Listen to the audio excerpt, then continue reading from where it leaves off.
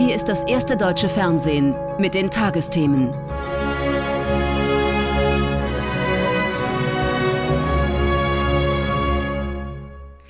Guten Abend, ich begrüße Sie zu den Tagesthemen. Urbi et Orbi lautet der traditionelle Ostersegen des Papstes, der der Stadt Rom und dem ganzen Erdkreis gilt. Und Franziskus nahm vor allem den zweiten Teil beim Wort. Syrien, die koreanische Halbinsel, Venezuela, die Ukraine, der Kongo und der Südsudan. Dazu auch Israel, Palästina und der Jemen. Kaum eine Krisenregion der Erde, die er nicht erwähnte und für die er nicht zu Frieden und Versöhnung aufrief. Die deutschen Kirchenoberhäupter lenkten in ihren Predigten den Blick ebenfalls auf den Erdkreis, aber mehr noch auf die Bedeutung der Osterbotschaft für die Gesellschaft hierzulande. Astrid Uhr berichtet. Ostern bedeutet Aufbruch, erklärte Kardinal Marx heute Vormittag im Münchner Frauendom.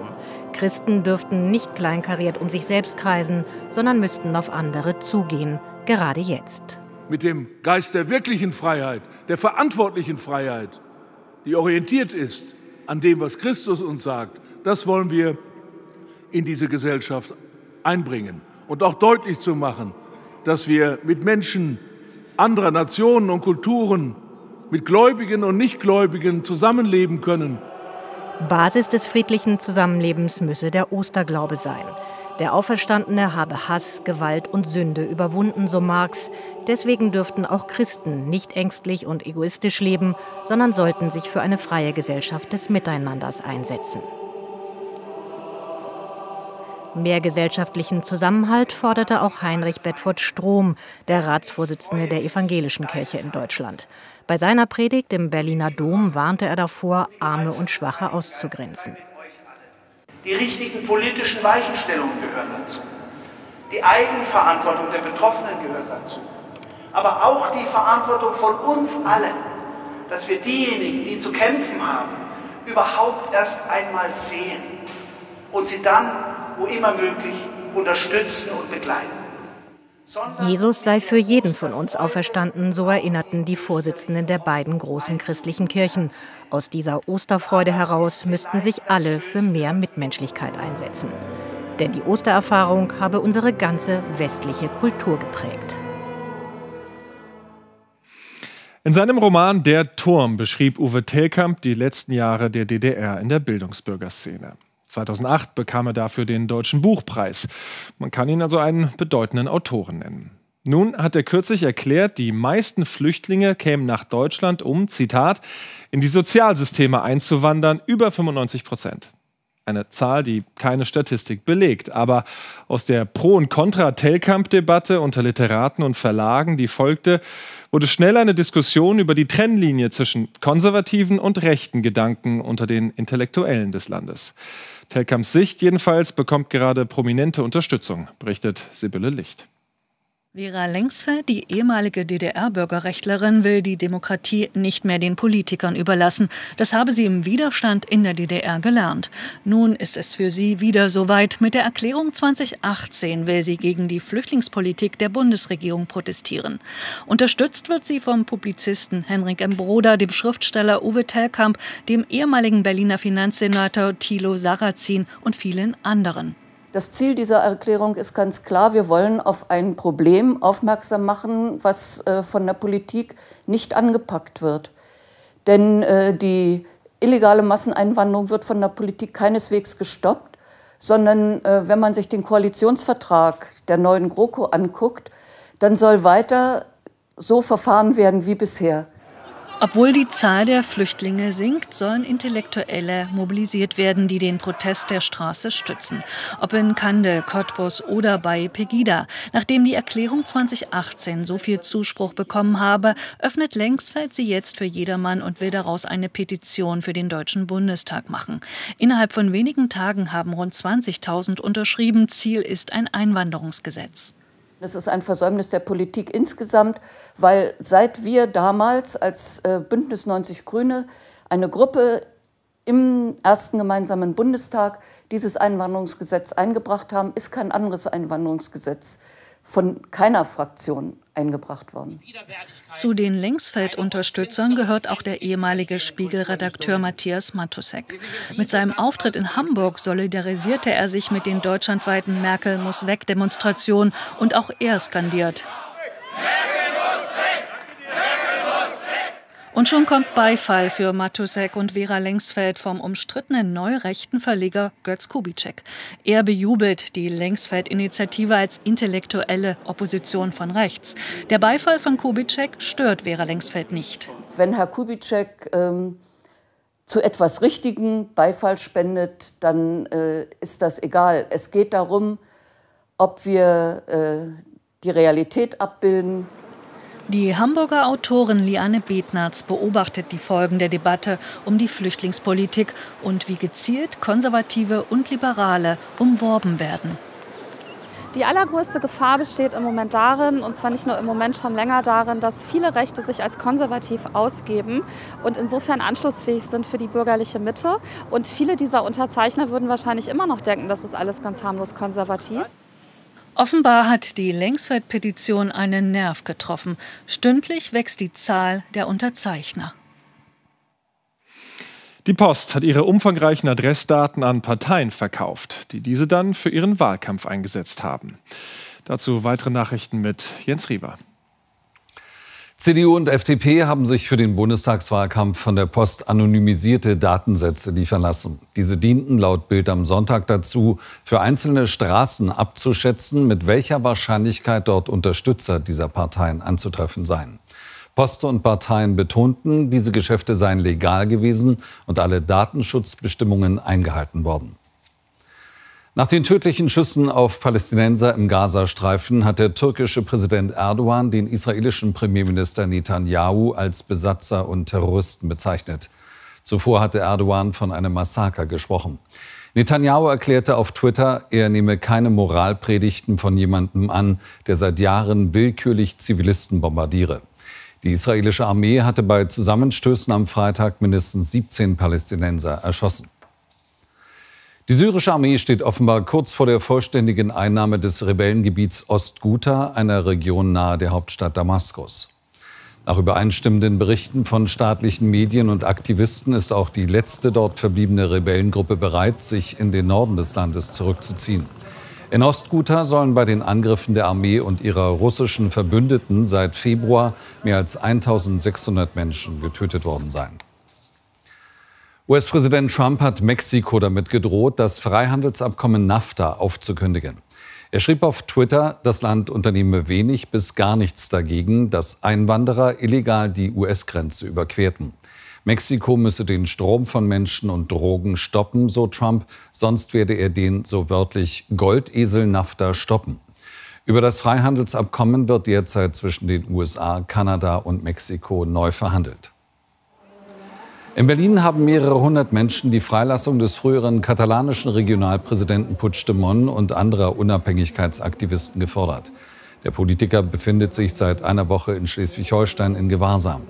Über seine Auslieferung nach Spanien soll nach Ostern entschieden werden. Puigdemont wird unter anderem Rebellion vorgeworfen. Er war nach einem verbotenen Unabhängigkeitsreferendum abgesetzt worden und aus Spanien geflohen. Sie haben zufällig denselben Nachnamen, aber da enden auch schon die Gemeinsamkeiten. Denn unterschiedlicher könnten die beiden Kandidaten nicht sein, die heute zur Stichwahl um das Präsidentenamt im mittelamerikanischen Costa Rica antreten. Carlos Alvarado vertritt die bisherige Regierungspartei, der ehemalige Arbeitsminister gilt als erfahren und liberal. Ganz anders der andere Alvarado, Fabrizio. Ein ehemaliger Laienprediger, der sein Wahlkampfthema fand, als der Interamerikanische Gerichtshof für Menschenrechte die Gleichbehandlung der Ehe für homosexuelle Paare empfahl. Seitdem wettert er dagegen so laut er kann und ist damit alles andere als erfolgslos. Joanna Jeschke. Mario Arias und Robert Castillo hoffen, dass dieser Tag gut ausgeht für sie und alle Homosexuellen in Costa Rica. Die beiden freuen sich seit Monaten auf ihre Hochzeit. Genauer, seitdem ein Gericht im Januar ganz Lateinamerika die Einführung der Ehe für alle empfahl. Wir haben schon alles für die Hochzeit vorbereitet. Wir haben schon Gäste eingeladen. Wir haben die Location, das Outfit, alles. Doch jetzt ist alles in Gefahr. Ihre Sorge, der konservative Kandidat Fabricio Alvarado könnte bei der Wahl das Rennen machen. Er war Prediger einer evangelikalen Freikirche und schürte im Wahlkampf Stimmung gegen Homosexuelle. Sein Ziel? Die gleichgeschlechtliche Ehe verhindern. Damit erreichte er vor allem die gläubige Landbevölkerung und ging als Sieger aus dem ersten Wahlgang im Februar hervor. Wir haben den traditionellen Politikern gezeigt, legt euch nie wieder mit der Familie an. Sie ist unantastbar. Der Mann, der Fabricio Alvarado als Präsident verhindern kann, heißt Carlos Alvarado. Beide Alvarados sind nicht miteinander verwandt. Der ehemalige Arbeitsminister vertritt eine liberale Position, will die Homo-Ehe einführen. Wir müssen einen Raum für den Dialog schaffen, sodass ein respektvolles Zusammenleben möglich ist. Die wirklichen Probleme Costa Ricas, wie die steigende Verschuldung oder die wachsende Arbeitslosigkeit, spielten im Wahlkampf kaum eine Rolle. Das kritisieren auch Mario und Robert. Diese Kampagne war sehr negativ und sie hat die wichtigen Themen außen vor gelassen. Die Wirtschaft, die Bildung, die Gesundheit. Sie hat sich allein auf die kontroversen Positionen gestützt, die auf Hass aufbauen und populistisch sind.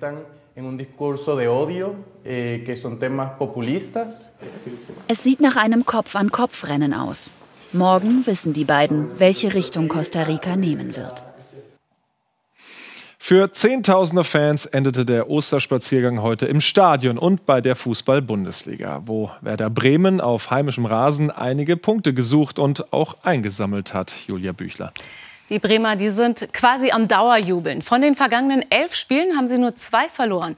Macht Platz drei in der Rückrundentabelle. Der Klassenerhalt ist so gut wie sicher. Werder hat sich zum Überraschungsteam der Liga gemausert. Beim 2 1 Sieg gegen Eintracht Frankfurt da hatte die Mannschaft allerdings auch Glück. Kapitän Junusovic war das ziemlich egal. Der Österreicher, der war an beiden Toren beteiligt und froh, dass er endlich wieder von Beginn an spielen durfte. Zuletzt war er aus taktischen Gründen draußen geblieben. Aber Siegen ist eben einfach viel besser, als auf der Bank zu schmoren. Von diesen Bremern kriegt zurzeit fast jeder einen gewischt. Selbst die Kamera. Wenn's eben einmal läuft, kommt das Glück wie von selbst. Am Ende entscheidet halt dieses Quäntchen Glück, das, äh, was du halt vorher reinlegst ins Spiel, wie du äh, mit welcher Konzentration, Engagement du ins Spiel gehst. Und das war heute bei uns auf jeder Position vorhanden. Und er zeigt, wie es geht. Slatko Junusovic, Werders Kapitän. Sein Tor zur Führung von den grünen Bremern klasse herausgespielt. Direkt und ohne Schnörkel 1 zu 0. Trainer Florian Kofeld hat Werder vom Abstiegskandidaten zur drittbesten Mannschaft der Rückrunde gemacht. Binnen fünf Monaten.